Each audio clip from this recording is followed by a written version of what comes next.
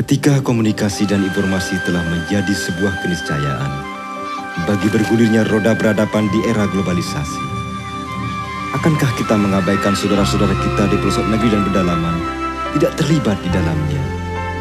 Dengan segala tantangan dan rintangan yang harus dihadapi, kami hadir bagi mereka demi satu tujuan yang sudah menjadi kewajiban bagi kami untuk mengajak mereka turut serta berpartisipasi dalam bergulirnya roda berhadapan di bidang komunikasi dan informasi.